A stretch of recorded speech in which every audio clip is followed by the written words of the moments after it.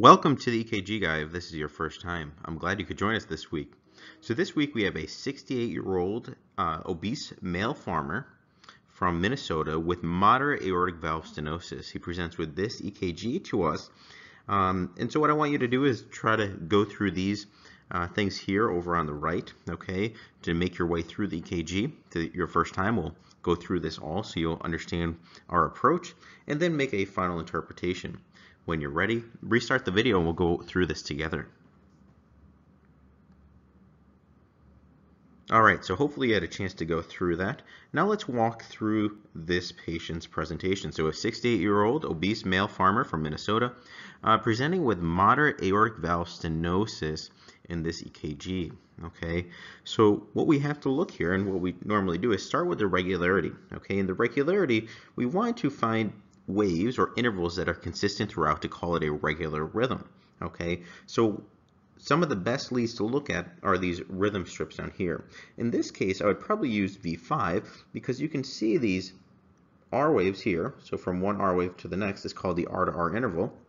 And what we want to do is measure the R to R interval. So here's the next R wave. So from that one that follows to this one. Okay, here's another R wave to this. So these are all R to R intervals. Okay, and if you were to measure all these out, you would see that these intervals are quite consistent. And because of that, we would in fact call this a regular rhythm. Okay.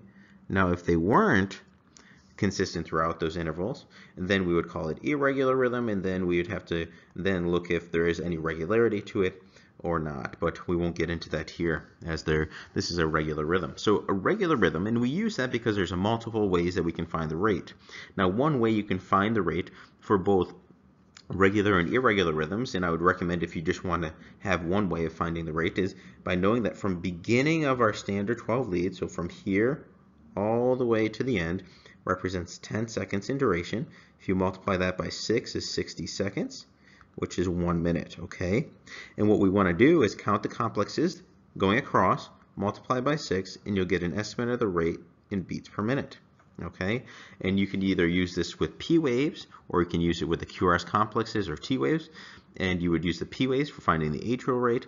If you want the ventricular rate, which we'll use here, we will use um, the QRS complexes or T waves, okay? And I would use the QRS complexes here. So let's go ahead and find that. So we have one, two, 3, 4, 5, 6, 7, 8, 9, 10, 11, 12, 13, 14, 15, 16, 17, 18, 19, 20, 21, 22. And what you would do is put that 22 here, and you would multiply 22 uh, times 6, okay? And so you would do 22, let's just do this here. So 1 is 13, so 132 is our close estimate here. Okay, so our estimate that we got from that, 22 times 6, hopefully is 132 beats per minute if I did that math correctly. Okay, um, and that's an estimate of the rate. So you're again counting the complexes and multiplying by 6 because there's each is 10 seconds, the strip that we see here, and getting an estimate of the rate in beats per minute. Okay. Now we always want to know how to find the rate. You know, it's easy to rely on the machine, but as uh, someone that looks at EKGs quite a bit, you'll often see that the machine is not always correct and will typically only give you the ventricular rate, at least here at our system here at Mayo Clinic, uh, but you yours may give the atrial rate. It's hard for the system pick up P waves, so that's why it's often not given. So another way, because we have a regular rhythm, we can find um, a QRS complex that falls on one of those thick lines, okay? So let's see if we can spot one here there's one maybe close to that here. Okay, so notice that this is falling close to it, and we spot another R wave, which is right there. Okay, and count the number of thick lines between it. So one, two. Okay, so a little more than two, and you would do 300 over two, which is 150 beats per minute. Okay, or and then 300 over three is 100 beats per minute. Okay, so I'm taking 300 as the constant, and then in here I'm putting the 2 and 3 would be this one here, but it's much closer to this.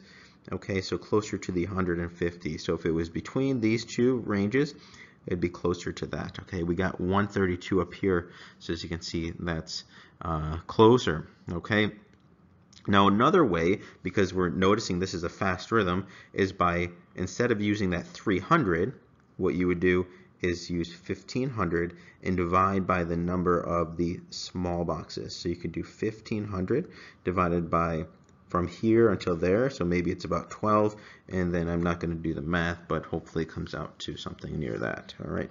So this approach where we're doing this division, okay, is uh, something you can only use for regular rhythm. So I just want you to be aware of that.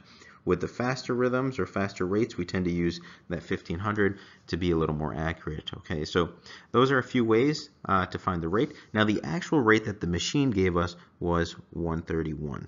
Okay, so I'll just put that here, and you can see that we are quite close with that first one. All right, if you want to know one way to find it, I would use that initial approach that we used there. All right. So let's move on here, okay? So next we have to look at the rhythm origin, okay? In this case, I like to start, so we're pretty much here are, this is why I, and you'll see why I use this approach, okay? So here's the right atrium left atrium, right ventricle, left ventricle. So I'm now asking myself, where is the rhythm that we're looking at originating from? Is it coming from down here in the ventricles? Okay, is it coming from somewhere here in the AV junction, or is it coming from somewhere up in the atria? Okay, so those are the main ones I'm asking. I start kind of from the bottom up, and I ask, are there any wide QRS complexes here? Meaning, is the duration of our QRS complex, so from here to here, wide, meaning is it at least 120 milliseconds or longer, okay? And if you look at our QRS complexes here, they're smaller than the three small boxes, so they're actually normal, okay? Meaning that we have something probably originating from above the ventricles, so that we don't have any intraventricular conduction delay that we'll talk about later, okay? Next, I ask myself, is it coming from the AV node, all right? Meaning that are there no P waves preceding our QRS complexes, or are they? And if there are P waves, are they coming at constant intervals throughout? So here you'll notice our P waves are these ones here. Notice that they're all coming at the same distance before our QRS complex. Okay, so take a look at that here. So I'll underline these so you can see it a little more clear. Okay, so all these are pretty much the same, okay? Meaning that we have P waves proceeding. So that means we don't have a, a, rhythm originating from just this area or down here. We either have something originating from the sinus node that sits up here or from some ectopic focus here in the atria, okay? So we have some sort of atrial rhythm, whether from the sinus node or not. Okay, so now we have to ask our ourselves, do we have sinus rhythm present? Okay, so is sinus rhythm present? Something very important, and I think often, you know, taken uh, for granted and uh, not really understanding why we do have that. So let's try to understand. It's all you'll see as our teaching progresses. We the goal is for you to understand why you see what you see on the EKG all the time. Okay, so here's the right atrium, left atrium right ventricle and left ventricle. Okay, and you'll always hear me harp on that because so many of those introductory books, whether it's Dubin's, Dubin's or Thaler's, and all those are, are quite insufficient, right? They won't help you to approach an EKG. They won't help you with patient management, and ultimately they'll leave you feeling inadequate in patient care, especially when you're presented EKG in real life. Okay, and that's why that was my struggle and that's why I've developed this course. That's why I walk through these with you all the time is because I don't think they're good enough. Um, they serve a, a, very introductory purpose. Um, but yes I can keep going on and on but we won't get into that all right? So let's understand why these uh, rhythms whether or not this is sinus rhythm. So sinus node sits up here okay and what you want to know is that from the sinus node, you have an AV node, okay? Also in the right atrium, you have a Bachmann bundle that comes to the left side. From this AV node, you have a His bundle, a right bundle branch that depolarizes the right side of the ventricle, the right ventricle. And then we have a left bundle branch that subdivides into a left anterior and posterior fascicle. From there, we have our ventricular Purkinje fibers that the impulse spreads from uh, myocardial cell to myocardial cell and so forth. So that's how it works. Now, when we are asking, is sinus rhythm present? We're really just focusing on what's going up on up here in the atria, okay? So we said P waves are present, so that means that we may have a sinus rhythm present, or meaning when we say that, we're saying that the rhythm is originating from the sinus node. And that's our question here. What is the rhythm origin? So what I want you to do is imagine this here. Here's our right atrium where our sinus node is present, this up here, okay? And now let's superimpose this on here, okay? So again, we'll put our sinus node up in this area. And notice that the impulse is moving in this direction, okay? Because it's moving in that direction, imagine it going like this, okay? Now again, we're only outlining this area here, okay? I'm not mentioning this, this, or this, okay? So that's what I'm focusing on there. And from there, we have to notice that the normal P wave axis in sinus rhythm is between 0 degrees and positive 75 degrees. So this region here. Okay, and as you can see, our vector is heading in that direction. And now we want to know what leads sit in those regions. Okay, so we know that lead 1 sits here, the positive end. We have lead AVF down here. Lead 2 is at positive 60 degrees. All right, lead 3 is over here. And then we have V4, V5, V6. AVR is here, and so forth. Okay, so that's how it looks. And notice that that red arrow, this impulse as it's coming from the sinus node, is heading in this direction, meaning that these leads should see upright P waves. And these leads, AVR, should see a negative uh, P wave there. So hopefully that makes sense. So let's look at if we have sinus rhythm present. So what you want to do is look at those leads. So let's look at lead 1. Here's lead 1. Notice that our P waves here in lead 2, if you look up, they are upright, okay? Almost blended here with our uh, T waves, but pretty flat T waves. So they're, they are upright there. You can see they're upright, especially in lead 2. Okay, if you look down here, you, that's the lead that we were showing all those P waves. So again, these P waves are upright. If you look at lead 3, same thing here. Okay, so upright P waves, but notice lead 3 is over here, so you may not always see it here. All right, uh, and then we wanted to look over, and here's AVF. You can see upright P waves there.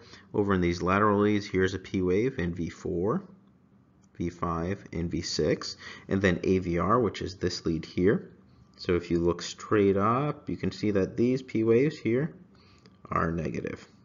Okay, so what this indicates is sinus rhythm is present. So we just spent a lot of time uh, looking at that, but hopefully that makes sense. So we do have sinus rhythm present, okay?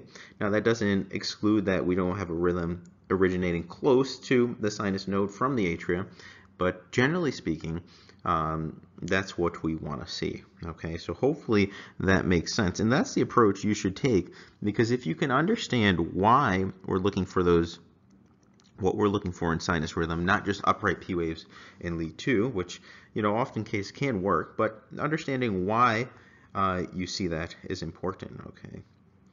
All right, so that's the rhythm here uh, so far is a regular rhythm. Okay, we have a rate of about 130 uh, beats per minute, so fast rate, and then we have a sinus origin. Okay, so hopefully that makes sense. Now let's move on to the ventricular axis. Okay, ventricular axis. Um, I know some of you are wondering what we use here at Mayo. We tend to use negative 30 degrees and positive 110 degrees, meaning that this area here is considered normal ventricular axis. Remember we talked about the P wave axis in this from the sinus node between 0 and positive 75. In the ventricles it's a little different, okay? So that tends to be the normal axis. Let me just spread this one out a little more so it's a little more similar. So about that region there, okay?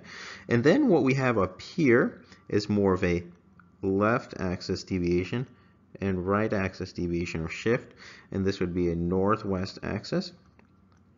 Here's north here's west. So that's where we get that northwest okay? Not many things hang out there um, but VT or ventricular tachycardia is something we can see up there okay?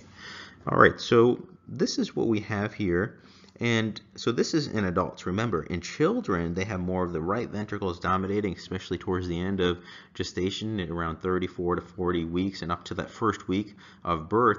They have more of a rightward shift, the right ventricles dominating, but eventually with age, we tend to shift more leftward, okay?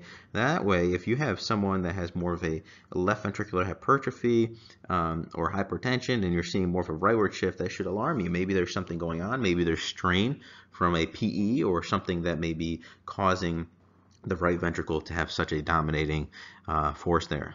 Okay, there may be a bundle branch block that is also um, present. So let's look here. So here we have lead 1 and lead AVF. And we say lead 1 because lead 1 sits here and AVF sits down there. Okay, so let's draw it out here so it's clean. So lead 1 and AVF. There are many ways that you can find the axis, but we will use these because it's quite simple. Okay. Um, and let's look here. So what we want to do is look at these leads that we've pointed out. And we want to look, are they mostly positive or are they mostly negative? Okay, so what you want to look here is we'll look at lead one. Okay, so lead one up here, and we're pretty much taking this baseline. Oops, it's a little above that actually. I kind of showed the ST segment, but here it's a little higher, okay, from there. And you're measuring the difference, pretty much if you have this complex, between this and this, okay? Is it mostly positive, meaning above the baseline, or mostly negative, okay? In this case, um, it seems like it's uh, almost isoelectric, meaning that it's almost the same above and below the plane, okay? Maybe a little more negative or so, but I would say mostly isoelectric. So if it was mostly positive, it would go towards the positive end of lead one. If it was negative, it'd go towards away from that positive end, okay? But because it's isoelectric, it kind of falls on this line. So we'll leave it there. So hopefully that makes sense. Now we also mentioned another lead here, and that lead here was AVF. So AVF down here, again, we're going to be taking this area here, so you're taking this baseline. Notice you have this small Q wave there, but mostly positive. So if I were to draw that out, just so you can kind of see that, so what I'm seeing here is a P wave, a small dip for a Q wave, mostly positive, and then some something like that. So we're looking at this, mostly that's a small negative, but most of this is positive, okay? So in other words, we would go towards the positive end of AVF okay? So towards the positive end, which would mean that our axis lies somewhere here, okay? Now another lead that uh, we could look at is lead 2, okay? Or we can look at all these leads pretty much. So lead, here's lead 2, sits here at positive 60 degrees. Okay, lead 3 over here at positive 120 degrees. So if you look at lead 3, it's positive. So we'd go towards the positive end of this. If you look at lead 2, it's also positive, but maybe not as much positive as lead 3. So maybe the axis lies somewhere in here, okay? In fact, the axis was positive 99 degrees, okay? So positive 99 degrees, so we said this is 110, axis may be somewhere there, okay? So positive 99 degrees, still within our normal axis, so I'd say normal, but with the 68-year-old obese male, maybe a rightward shift, to rightward shift in the axis, okay? So it was positive 99 degrees. So this is where you have to kind of put your clinical suspicion and everything uh, when you're making clinical decisions, taking all this into account, okay? Alrighty, so next let's look at atrial conduction. This is where we're looking at the P waves. Okay, remember my approach here is so we don't miss anything okay? And this approach that we've been doing here is something I've uh, created just because you know everyone has their own a way of approaching and some are better than others but uh, hopefully you just don't want to miss anything. And so this is something that I've used that's helped for me not to miss anything. Um, and what I'm doing just to give you an idea of why I do this remember I said the atria here's the right atrium left atrium right ventricle and left ventricle I use this approach because I want to look at the atria. Are there any issues up here in the atria? Anything here in the AV junction? And then the ventricles. So you'll see that we look at the AV node or atria, AV, and IV. Okay, so let's start with the atria, and here I want to focus mostly on are there any left atrial or right atrial uh, abnormalities, okay? And what we will see here is that these P waves here, okay, and uh, so forth do not show any enlargement, okay? So we are not going to go into the details. We've done that in multiple other uh, lessons. So there are no atrial abnormalities here, okay? There's no enlargement of either the right or left atrium here. Next, we want to look at AV conduction and AV conduction. So if you imagine our complexes like here, we've looked at the P wave so far, so we can check that off. Now I'm looking in here, so in this region here, the PR interval. Okay, are there any issues there uh, that you see? Well, the PR interval here, which is, as I measured here, from this to this, okay, can uh, suggest that we have a slowing of conduction. So if you look here, you want to find a P wave. So notice that the QRS complex sits there and the P wave just about there, okay? And that one big box is 200 milliseconds, which is kind of the upper limit of normal for an adult uh, patient. So this was actually measured by the machine at 206 milliseconds. So in that case, we would call this delayed uh, conduction through the AV node. Okay, so that's one thing to note. And because you see that consistently throughout, this is representative of a first degree AV block. Okay, no drop beats, uh, so we don't have to mention anything there, but hopefully that makes sense. So this is a first degree AV block. So we've looked at conduction through here as well. So, so far we've looked at the atria, the AV node, and now I want to look here at the uh, QRS complexes uh, as well as the T wave.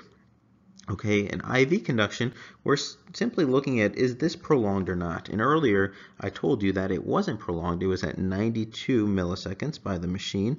So there is no um, conduction delay within the ventricle, okay, that you may see with a bundle branch block or something else there. Um, so we won't mention anything else in this case, okay? So as you can see, we went from the atria, AV node, and now the ventricles, okay? And don't worry, we are not um, missing any of the wave segments or abnormalities that we'll talk about shortly. So now we get to the waveforms, okay? And now we're starting to break this down into, and just so you're aware, the normal is 70 to 110 milliseconds of IV conduction. So that's why there's no issues there. So let's look at the PR segment. Okay, so again, we talked about the PR interval. The PR segment's at the end of the P wave up until this point here. And here we want to see, is it elevated or depressed at all? Okay, meaning is it above the baseline, elevated or depressed? And if you look here, we're looking at this area here. It's not really uh, so much. You can see kind of this, how it goes like that. Uh, and that may be artifact, a motion artifact. Is there on the limb leads, okay? uh, whereas you can see V1 is pretty flat as the patient's on chest. Okay, so I wouldn't say that uh, there is any PR elevation or depression that's significant here or alarming. Okay, when we look at next is looking at Q waves. So Q wave, there's no Q wave here, but a Q wave would be something like this. So it'd be this first negative deflection. Remember, this is an S wave, this is an R wave, this is an R wave, okay? So this is the first negative deflection here uh, of the QRS complex uh, that uh, comes before an R wave, okay? And so leads that we can see Q waves developing, okay, are here in lead 3. You can see that is the small one, lead 2, and maybe AVF, okay? Those are the main ones that we can see it. So, oops, wrong spot. So the Q waves, let's just erase this here. Uh, we mentioned in 2, 3, AVF. Okay, so 2 is here, AVF is here, 3 is here. Remember, these are the inferior limb leads. Okay, now in the ST segment, um, the ST segment is this portion here. Okay, from the end, from the J point or end of our QRS complex up until the T wave. Is it elevated or depressed? Okay, this is where we start to see ischemic changes. So when you look here, notice that this is elevated. Okay, same thing here. there's J point elevation, and J point is simply this area here. That's the J point. So it's elevated in those leads, okay? And then you can see some depression specifically here. Notice in lead uh, AVL as lead, well as lead 1, okay? And you also maybe see some depression here in V2 and V3 as well, okay? So when we talk about here, we can put ST elevation that we see in 2, 3 in AVF, okay? And it seems to be most prominent in leads 3 and then AVF in lead 2. So 3 is the most prominent, and that is helpful when we try to localize um, these areas of infarct, okay? And that's what the interventional cardiologist will try to do before intervening on a vessel. So three, and then we mentioned some ST depression, so let's just write that there, ST depression, and one, an AVL, and then also V2 and V3 we mentioned as well, okay? Maybe in V4 as well slightly, but anyways.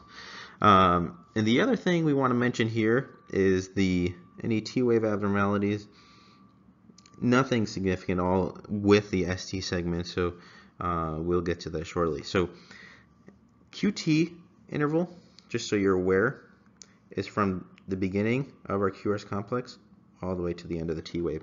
We use something called the QTC, which is corrected for heart rate, okay, because heart rate has a big influence, and this was 528 milliseconds, okay, so uh, this is prolonged in a male. Normally in a male is less than 440 milliseconds, and females 460. Uh, not until around 500 do we get alarmed, but this is uh, certainly prolonged, 528. Uh, okay. So let's move on to, is there anything else present here that we've missed so far? Well, there is a, one thing that I want to mention, and that is that the voltage actually throughout the EKG is quite low.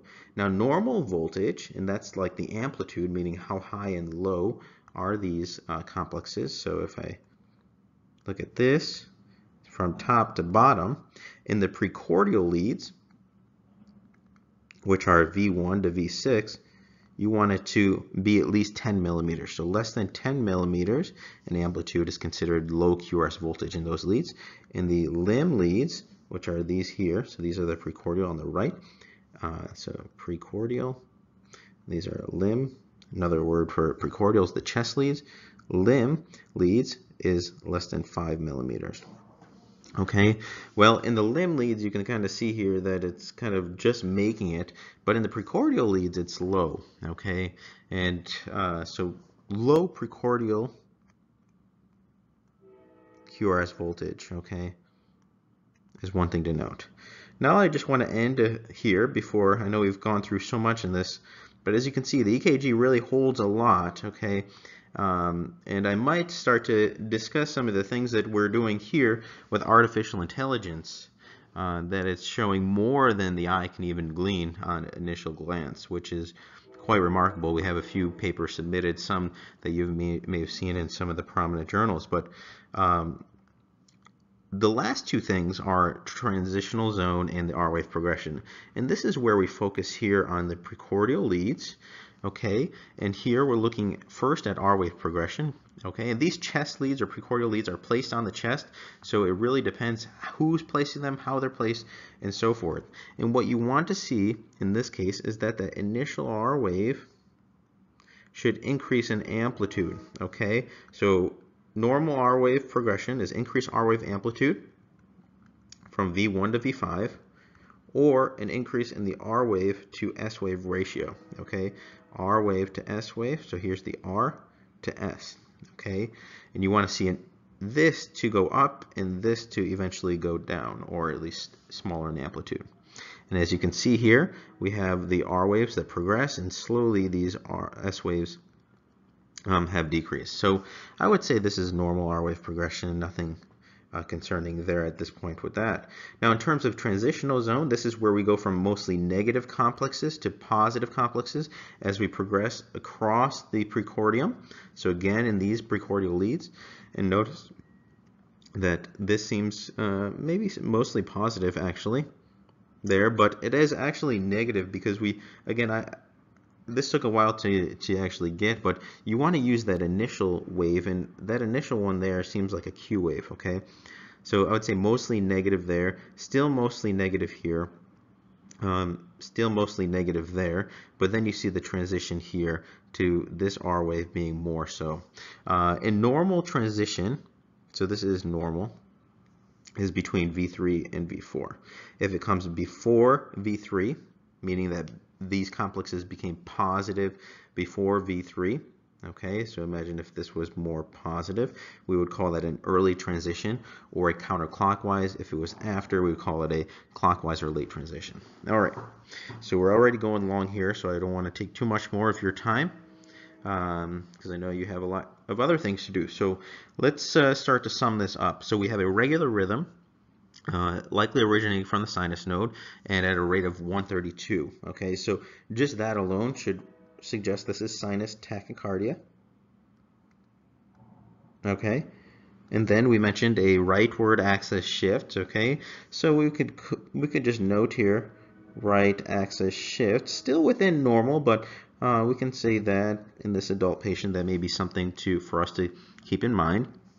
Um, we notice that there's no atrial conduction abnormalities, but there's delayed conduction here that was consistent and prolonged at the PR interval at 206 milliseconds. So we have sinus tachycardia with a first degree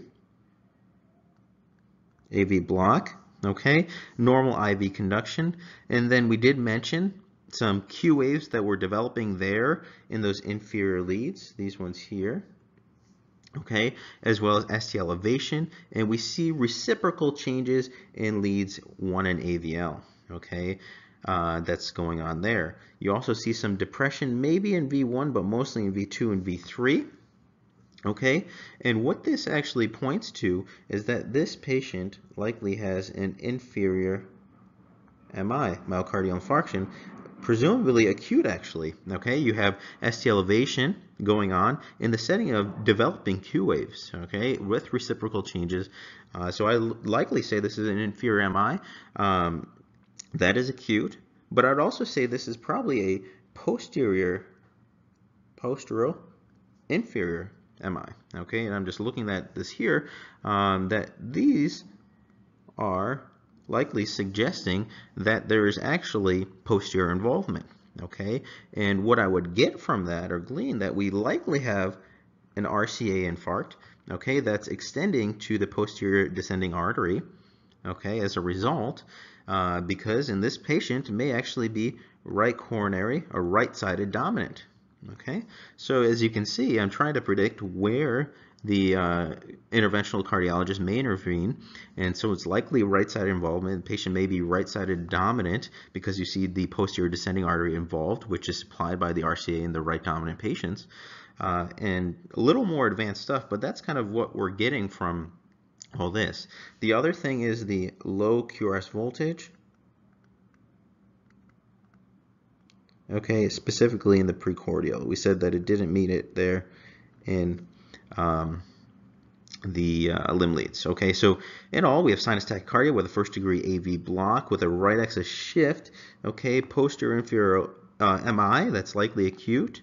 Um, and this low QRS voltage. Okay, when compared to the previous one, the patient was in normal sinus rhythm, okay? So this is a complete change. So we have loss of voltage, we have a new AV block, we have a fast rhythm, okay?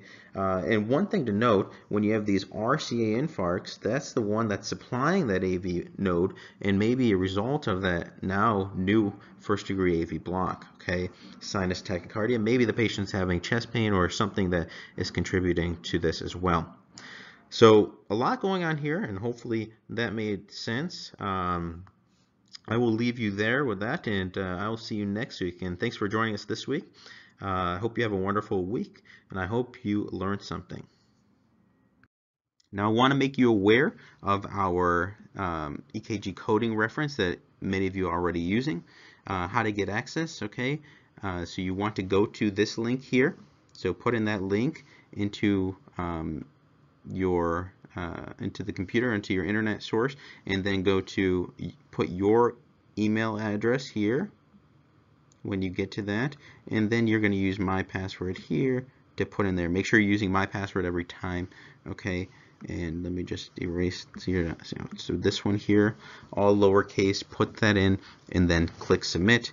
Confirm your email. So check your email, get a confirmation, and you'll have access, okay? And access here will be this and you'll start to see that we have examples and I'm now adding videos into it. So this is an on-the-go reference has everything you could possibly imagine uh, we use as we're building the course for our fellows here at Mayo Clinic um, and so forth. So I think it's quite handy. Our techs are using it.